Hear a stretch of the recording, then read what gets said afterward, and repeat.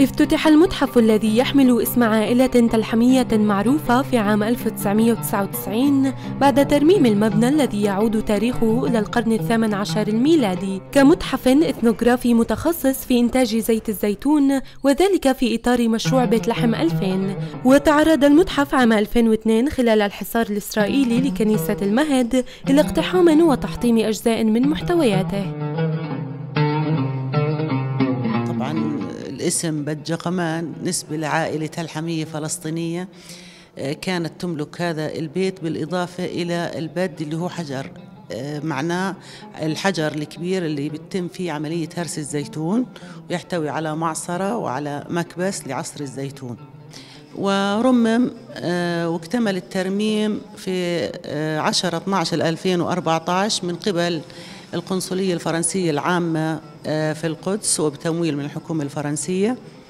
وتم الترميم آه، على أسس آه، قديمة أي استعمال المواد القديمة أو القريبة في الترميم سواء في القصارى أو في الكحلة. وكشفت حفريات أثرية عن قطع صدف وخرز وأساور أحادية اللون ومتعددة الألوان وعملات تعود لفترات مختلفة وقطع فسيفسائية مذهبة تعود للفترة البيزنطية شبيهة بالتي استخدمت في تزيين جدران كنيسة المهد في عصر لاحق. طعنا من خلال هذه الحفرية أن نحدد آه، التسلسل الطبقي آه، للاستقرار البشري في مدينة بيت لحم ابتداء من الفترة الرومانية والبيزنطية وانتهاء بالفترة العثمانية ماذا أضافت هذه الحفرية لما تعلمونه عن بيت لحم؟